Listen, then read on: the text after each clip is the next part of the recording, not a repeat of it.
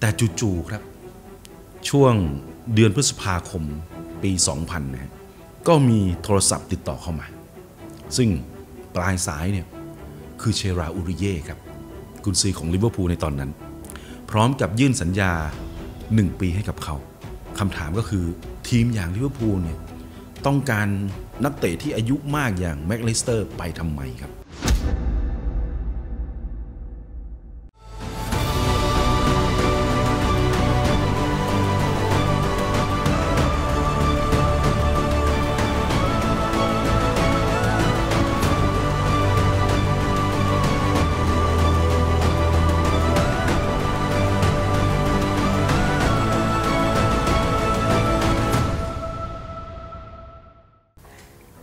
สวัสดีครับ ต้อนรับเข้าสู่ T Sports update ครับ เรื่องเล่าโลกกีฬานะครับ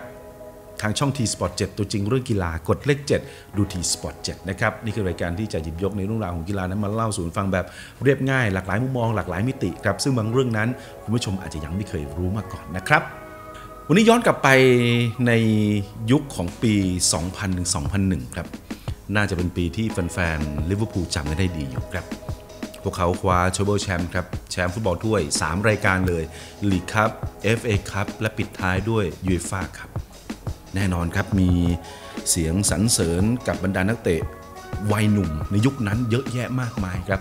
สตีเว่นเจอร์ราร์ดเพิ่งเติบโตขึ้นมานะครับไมเคิลโอเว่นจบปีนั้นด้วยการคว้าบัลลงดอร์ครับ เพียงแต่ว่ามีนักเตะอยู่คนหนึ่งครับ ซึ่งอายุ 35 ปีแล้วครับในตอนนั้น แต่กลายเป็นอีกหนึ่ง key man ที่ทีมขาดไม่ได้เลยครับ นั่นก็คือแกรี่แม็คอัลลิสเตอร์การเข้ามาของเขาสร้างความงุนงงมากๆครับ แต่มันจบปีด้วยความเบ่งบานครับกับการเป็นเสือเฒ่าในช่วงบั้นปลายของการเป็นนักเตะอาชีพ แต่ทำไมยังถึงสร้าง Impact ได้ Impact มันถึงขั้นว่าแฟนๆลิเวอร์พูลนะครับมีเพลงเชียร์ส่วนตัวให้กับแม็คอัลลิสเตอร์ด้วย เท้าขวาของคุณช่างแสนหวาน เราเซ็นคุณมาฟรีๆ แต่เราได้ทริปเปิลแชมป์คุณคือไอ้หัวล้านอันเป็นที่รักของเรา คุณคือแกรี่แม็คอัลลิสเตอร์วันนี้ลองติดตามไปพร้อมๆกันนะครับว่า กับนักเตะอายุ 35 ปีทำไมถึงเข้ามาแล้วสร้างให้ทีมทีมหนึ่งนั้นก้าวไปสู่ความสำเร็จได้ ผมเริ่มที่ตัวตนของเขาก่อนครับ จริงๆเนี่ยถ้าใครติดตามฟุตบอลอังกฤษมาตั้งแต่ในยุคปลาย 80 ต่อต้น 90เนี่ยนะครับ ก็น่าจะคุ้นชื่อของแม็คอัลลิสเตอร์เป็นอย่างดีครับ นี่คือกองกลางมันสมองครับจอมทัพเล่นด้วยสไตล์แบบชาญฉลาด เหมือนมีตาอยู่รอบตัว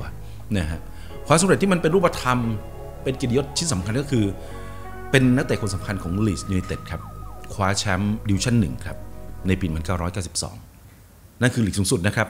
ก่อนที่ปีถัดมาเนี่ยจะมีการรีแบรนด์เปลี่ยนชื่อจากดิวิชั่นหนึ่งมาเป็นพรีเมียร์ลีกดิวิชั่นหนึ่งในตอนนั้นก็คือลีกสูงสุดนั่นแหละครับ ซึ่งกองกลางของลีดส์ในตอนนั้นนะครับมีแม็คอัลลิสเตอร์ครับมีกอร์ดอนสตรัคคันนะฮะมะพร้าวห้าวนะครับแล้วก็มี 2 เด็กหนุ่มที่วิ่งแบบเป็นบ้าเป็นหลัง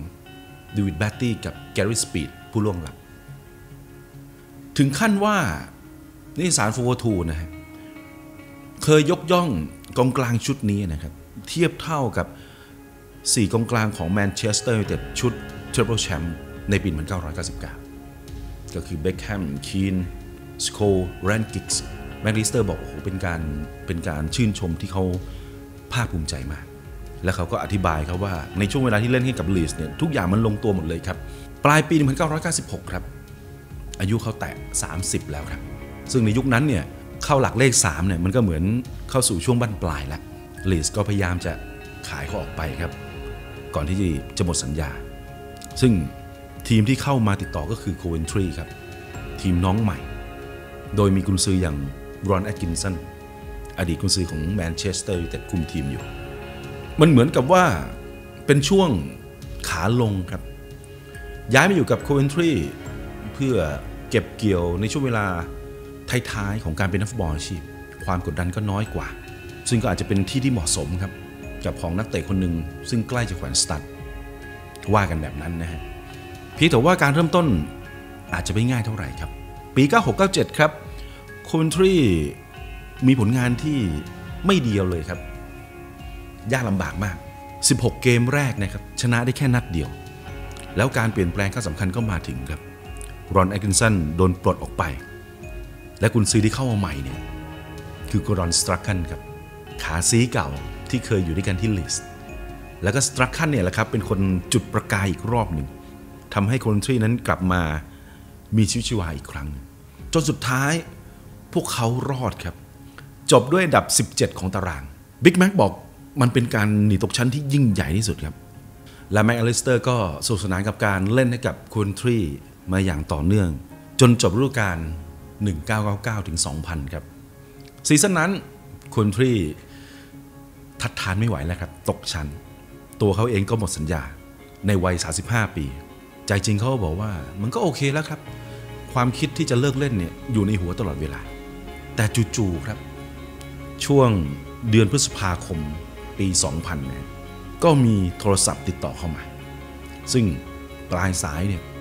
คือเชราอูริเย่ครับกุนซือของลิเวอร์พูลในตอนนั้น พร้อมกับยื่นสัญญา 1 ปีให้กับเขาคำถามก็คือทีมอย่างลิเวอร์พูลเนี่ยต้องการ นักเตะที่อายุมากอย่างแม็คอัลลิสเตอร์ไปทำไมครับ มันถึงขั้นมีบรรณาธิการของนิตยสารท้องถิ่นครับในเมืองลิเวอร์พูลตั้งข้อสงสัยตรงนี้ครับ แล้วก็ปิดท้ายด้วยว่า คือถ้าแม็คอัลลิสเตอร์มาอยู่ลิเวอร์พูลแล้วลงเล่นได้เกิน 10 นัดนะเขาจะยอมเดินเปลือยกายในสวนสาธารณะเลย คือไม่เชื่อใจครับ ไม่เชื่อใจ เพียงแต่ว่าบางครั้งชีวิตมนุษย์เรามันก็คล้ายๆกับคำวลีนึงที่ฝรั่งเขาชอบใช้กัน late bloomer ซึ่งในปัจจุบันเนี่ยไอ้คำว่า late bloomer เนี่ย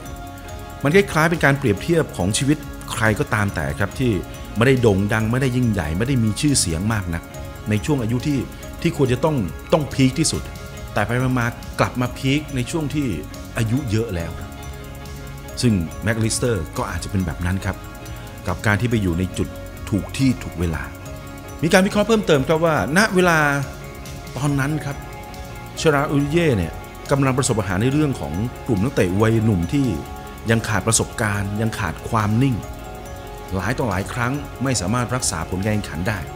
มักจะมาตกม้าตายในช่วงท้ายเกม ซึ่งถ้าเราดูในกลุ่มนักเตะที่เติบโตขึ้นมาครับ อย่างที่บอกครับ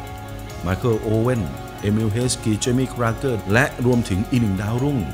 ที่เพิ่งโผล่ขึ้นมาในทีมชุดใหญ่นะตอนนั้นก็คือสตีเว่นเจอร์ราร์ดครับเต็มไปด้วยดาวรุ่ง ซึ่ง สตีเว่นเจอร์ราร์ดก็เป็นหนึ่งคนครับที่ที่ตั้งคำถามนะว่า ซื้อมาทำไม ดึงตัวเข้ามาทำไม กับนักเตะอายุ 35 ปีนะเพราะว่าช่วงเวลาตรงนั้นเนี่ยกองกลางของลิเวอร์พูลมันก็แน่นอยู่แล้วครับ เบียดกันแย่ตำแหน่งแบบโอ้โห เยอะแยะมหาศาลเพียงแต่ว่าการตั้งคำถามของสตีเว่นเจอร์ราร์ดเนี่ยได้คำตอบ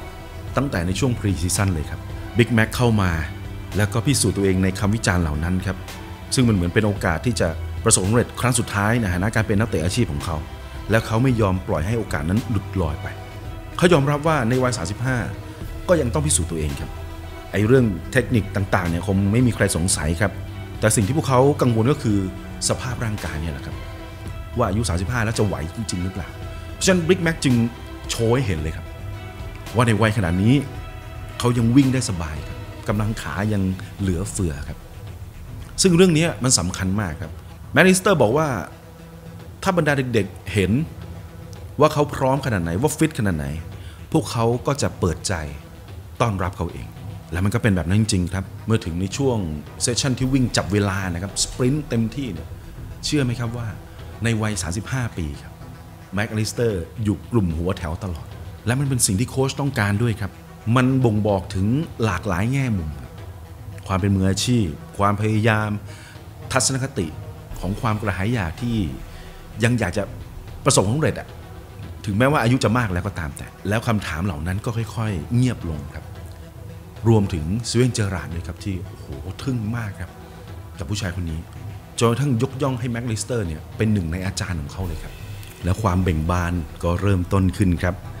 พร้อมกับกลุ่มดาวรุ่งของลิเวอร์พูลก็เติบโตขึ้นมา โอเคครับ ในเวทีลีกนะฮะ มันก็ยังมีบางช่วงบางตอนที่ กระท่อนกระแท่นไปบ้าง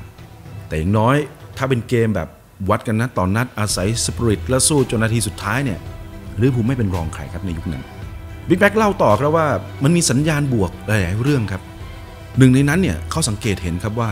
ทีมของเราเนี่ยเป็นทีมที่เล่นเกมเร็วได้เก่งมากครับ ทุกคนมีความกระฉับกระเฉง เจอร์ราร์ดเป็นหนึ่งในนั้นครับ แล้วพอเห็นเด็กคนนี้เติบโตขึ้นมาบิ๊กแม็กสัญญาตัวเองเลยครับว่า จะถ่ายทอดทุกสิ่งอย่างที่เขามี ให้กับสตีเวนเจอร์ราร์ด เขาเล่าบอกว่าโอ้โหมันเป็นกลุ่มก้อนเดียวกันครับเขาสนิทกับบรรดาเด็ก ๆ เหล่านี้เกือบทุกคน จนกลายเป็นทีมที่มีคุณภาพไม่แพ้ใคร และปีนั้นก็จบด้วยอันดับ 3 ของตารางครับคว้าสิทธิ์ในการไปเล่นยูฟ่าแชมเปี้ยนส์ลีกได้ตามเป้า แต่กับฟุตบอลถ้วยนะครับ มันก็เป็นสิ่งที่ยืนยันคำพูดของแม็คอัลลิสเตอร์ได้ดีครับว่าถ้าวัดกันนัดต่อนัดแล้วความสปิริตความใจสู้ลิเวอร์พูลไม่เป็นรองใคร พวกเขาเริ่มต้นด้วยการคว้าแชมป์ลีกครับด้วยการชนะเบอร์มิงแฮมครับในการดวลจุดโทษ เดือนกุมภาพันธ์ 2001 หลังจากนั้นก็มาคว่ำอาร์เซนอลครับในเกมนัดชิงชนะเลิศ FA ครับทั้งที่โดนนำไปก่อนครับก่อนที่ไมเคิลโอเว่นจะมายิง 2 ประตูรวด ตบท้ายด้วยชนะอลาเบสครับคว้าแชมป์ยูฟ่าครับในเกมที่ถูกยกย่องว่า เป็นหนึ่งในตำนานของถ้วยนี้ครับชนะไป 5 ประตูต่อ4มันมากครับ ทุกรายการที่กล่าวมาครับ บิ๊กแม็กสร้างไฮไลท์ได้เสมอครับ โดยเฉพาะในเกมที่กดดันแล้วก็ต้องวัดกันด้วยการยิงจุดโทษเนี่ยเขาคือมือหนึ่งของทีมครับ และไม่เคยพลาดเป้าแม้แต่ครั้งเดียว เป็นหนึ่งในความทรงจำที่ทุกคนพูดถึงมาจนปัจจุบันนี้ครับ ครบรอบหนึ่งปฏิทินแม็คอัลลิสเตอร์พาหงส์แดงพลังหนุ่มทีมนั้นครับ กวาดแชมป์5รายการ เป็นแชมป์ในรายการ major 3 รายการ จากนั้นก็ลงเล่นให้กับลิเวอร์พูลอีกหนึ่งฤดูกาลเต็มครับ ก่อนจะย้ายกลับไปอยู่โคเวนทรีในปี 2002 เพื่อรับงานการเป็นผู้เล่นผู้จัดการทีม บนวัย 35 ปีที่ย้ายเข้ามาด้วยความสงสัยครับ พร้อมกับมีคนดูถูกดูแคลนว่าเล่นไม่ถึง 10 นัดหรอก แต่ทั้งหมดทั้งมวลครับ เขาเล่นให้กับลิเวอร์พูลไป 87 เกม ยิงไป 9 ประตูครับ และกลายเป็นลูกพี่คนสำคัญครับ กลายเป็นอาจารย์ของนักเตะดาวรุ่ง และที่สุดแล้วก็เป็นคนสร้าง impact ครั้งใหญ่ครับ ไม่ใช่แค่การเบ่งบาน ของเสือเฒ่าวัย 35 ปีนะครับ แต่มันเป็นการจุดประกายให้เด็กๆ ทุกคนในทีมลิเวอร์พูลเนี่ยเฉิดฉายขึ้นมา ซึ่งคนที่รู้ซึ้งในความสำคัญของเขาไม่ต้องมองไปอื่นไกลเลยครับสตีเวนเจอร์ราร์ดนี่แหละครับ ในวันที่เขาเตรียมที่จะเข้ารับงานกับเรนเจอร์เขาก็ติดต่อบิ๊กแม็กนี่แหละครับว่า พี่ครับมาช่วยผมหน่อย มานั่งข้างๆผมหน่อย มาคอยให้คำปรึกษาหน่อย แล้วเขาก็สร้างทีมขึ้นมา จนหอบหิ้วกันมาอยู่ที่แอสตันวิลล่าณปัจจุบันนี้ครับ ทั้งหมดทั้งมวลครับ คือเรื่องราวของ cult hero คนหนึ่งครับcult hero คือขวัญใจที่ไม่ค่อยถูกพูดถึงมากนะขวัญใจอินดี้อะไรประมาณนั้น ซึ่งบุคคลคนนี้ก้าวมาเป็นฮีโร่ของทีม ในวัยที่ไม่มีใครคาดคิดด้วยซ้ำไป